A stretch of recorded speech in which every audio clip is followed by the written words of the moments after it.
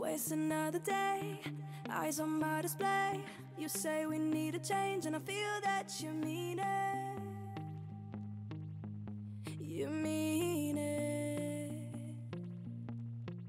Hi everyone and welcome back to my channel or if you're new, welcome. Today's video is going to be a clean with me video but I'm more focusing on bathroom cleaning and kids room clean with me. The kids have been unwell so I really wanted to get in and give the bedrooms a clean, a sanitize as well as the bathrooms just to make sure that I get rid of all the bugs. Now this video is a collab video with a friend of mine Morgan from Life Happens Here. She has done a clean with me video as well to give you twice the cleaning motivation today. Morgan is a mum of three little kids, and on her channel, you will find loads of clean with me videos to give you loads of cleaning motivation. She also does cleaning routines 2022, laundry routines, speed cleaning, declutter, and organize and decorate with me videos. So if you haven't checked her out yet, make sure you pop over at the end of this video and say hi to her and let her know that I sent you over. Her link will be in the description box below. Now I did buy this Pine O Cleen multi-purpose cleaner. It's in an apple fragrance. I thought it smelled quite nice at the start, but after spraying like all the bathrooms and the bedrooms, the smell got a little too much. So I think I might try a different scented one next time.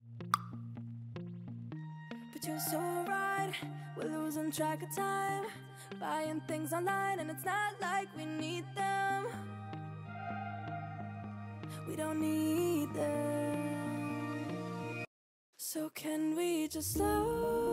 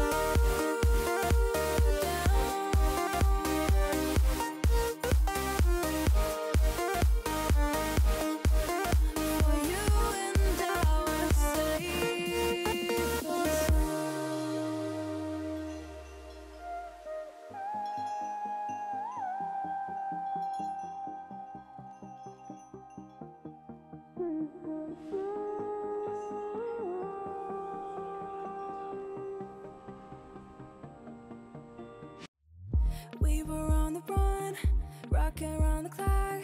I'm using the Method Glass Cleaner in the scent of mint. I'm really liking this product at the moment. It's a real nice smell and it's not overpowering, which I really like. Now all we need is right here in front of us. In front of us. So can we just slow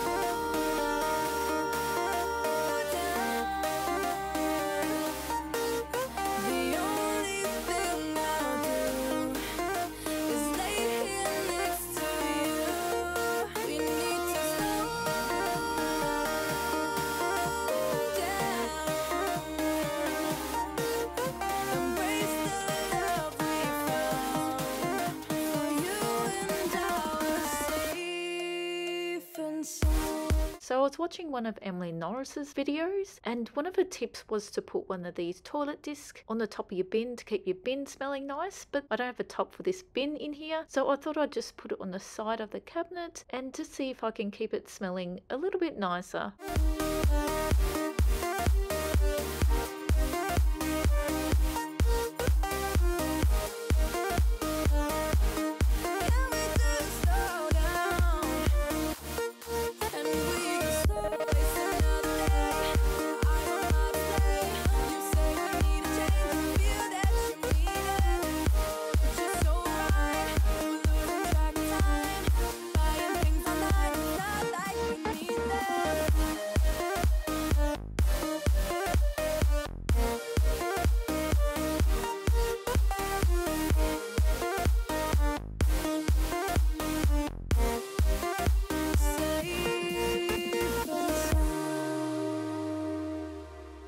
Now that I'm done cleaning the bathroom, I'm going to get into the kids' room clean with me. And if you are new to this channel, I'd just like to introduce myself a little. My name is Charmayne Rosely. I'm a mum of two little boys, and on my channel you'll find loads of clean with me video to give you lots of cleaning motivation. You'll find speed cleaning, laundry motivation, laundry routines, morning routines, bathroom cleaning, and loads more. So if these are the type of videos that you enjoy watching, please do consider subscribing and hit that notification bell so you don't miss out on any more of my content. I really hope this video is getting you motivated to get up and clean and sanitize with me. If you're enjoying this video, make sure you give it a thumbs up.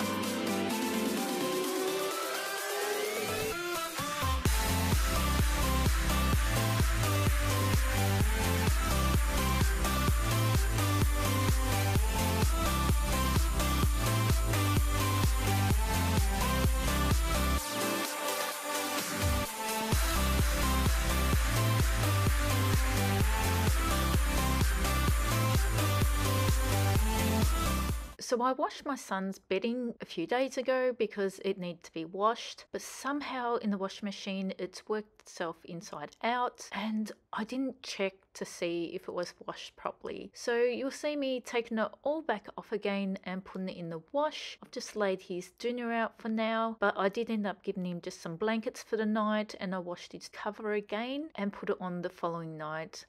Let me know, have you ever had this problem as well? Hit that thumbs up if you have.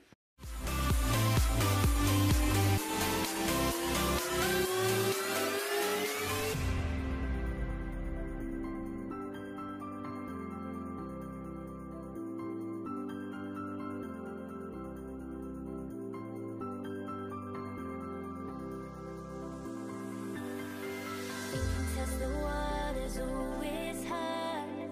I think we're getting close. Racing through the waves, I want to be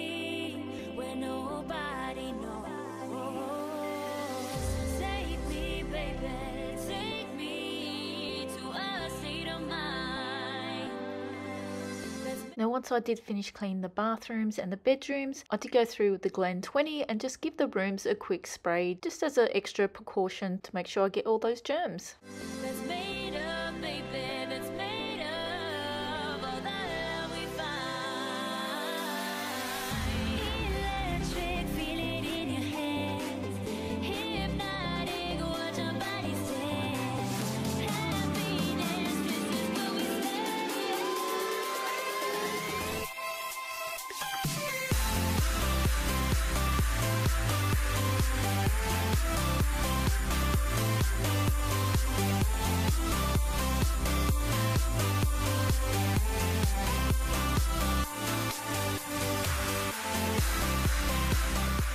Now with the sheets, I normally make sure that the tag is down the bottom on the, I guess the right hand side when you're looking at it. But with the mattress protector, it actually needs to be on the left. That's why I put it on the wrong way. Now tell me, is there a certain way that you put your sheets on your bed? And the California roll, I'm still thinking whether this is really the easier way to do it. If you don't have the strength in your arms to shake the bedspread out, then I would say it is a lot easier because you don't have to use your arms as much to do it. But just doing it, it's really amazing how it actually works itself out and ends up flat, bright on your bed. Let me know if you've actually tried this, and if you have, are you still doing it this way?